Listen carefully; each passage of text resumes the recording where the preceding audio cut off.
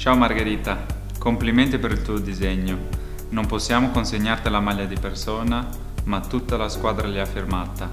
Vedrai che ci rivedremo allo stadio. Un abbraccio e forza Hellas!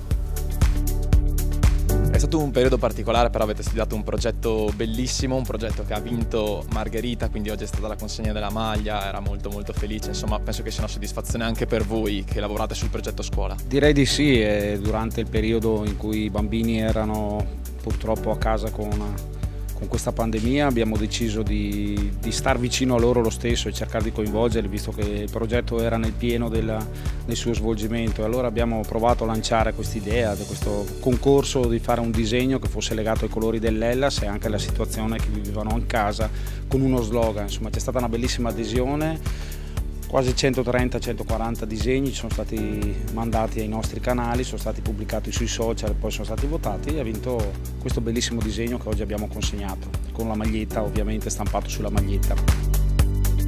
Margherita, oggi abbiamo premiato il tuo disegno, era bellissimo, ti sei divertita a farlo? Sì, mi sono divertita e è stato bello questo progetto perché l'Ellas mi piace molto. Un disegno, ma sappiamo che ti ha aiutato anche un po' il papà. Sì, mi ha aiutato anche il papà. Senti, hai visto anche il video, ti abbiamo fatto vedere il video di Miguel Veloso che appunto ti faceva vedere questa maglietta che ti è stata regalata con le firme dei, dei calciatori, è stata una bella sorpresa.